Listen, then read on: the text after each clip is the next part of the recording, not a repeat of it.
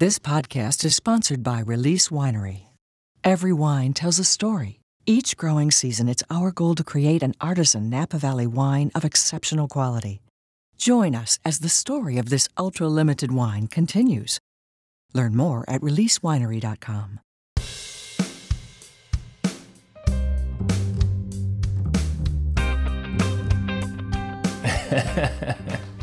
yeah, I mean, you have to be part mountain goat to live up here.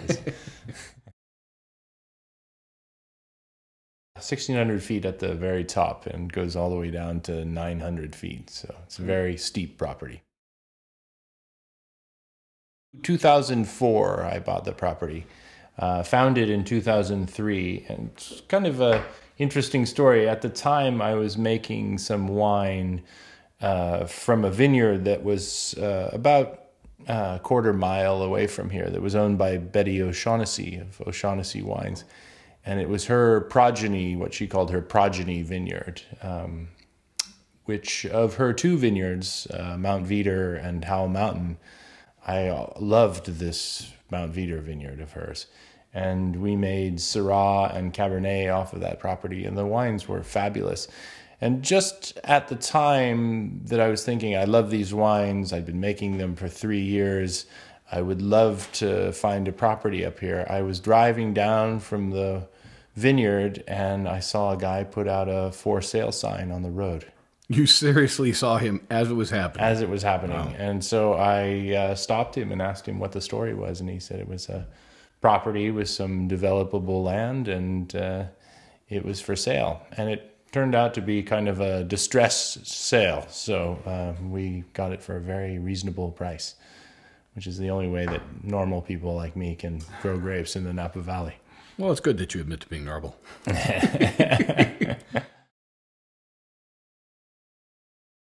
only issues uh, that I had were getting into the winery. Uh, we had uh, roads that were closed off, and getting into the winery was very difficult. So I had to put a bicycle in the back of my car, park my car at a friend's winery, and ride through back roads and vineyards in order to to get there to work every day. And uh, eventually, I just had to stay in the in the winery proper uh, and spent three days there eating nothing but top ramen. oh, man. We're growing four different uh, varietals here. We grow Viognier, and we make a wine called uh, 20 cubic meters. That's uh, a Viognier aged and fermented in terracotta amphora. We grow uh, Cabernet Sauvignon, we grow Cabernet Franc and Merlot, and those three, three varietals go into a wine that we call Space and Time. That's uh, Cabernet Franc dominant, has a little bit of Merlot in it, and uh, and then uh, quite a bit of Cabernet Sauvignon as well. And then we make a wine called the Incubo that we've been making since we uh, almost since we first bought the property. That's 100% uh, Cabernet Sauvignon or pretty close to 100%. Some years we'll put in a little bit of Cabernet Franc, but pretty close to 100%. We do do some single vineyard wines from properties that we don't own where we have uh, agreements either to buy or trade for the fruit uh, from the owners.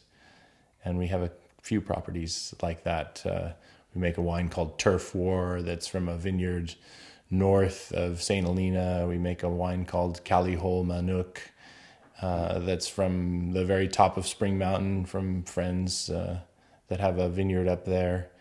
And we make a wine called Her Majesty's Secret Service that's uh, from Stagecoach Vineyard on the eastern side of the valley. Well, uh, funnily enough, it was uh, the blocks that we uh, took the wine from were originally M5 and M6, and so we uh, extrapolated that to MI5 and MI6, and uh, MI6 is of course Her Majesty's Secret Service.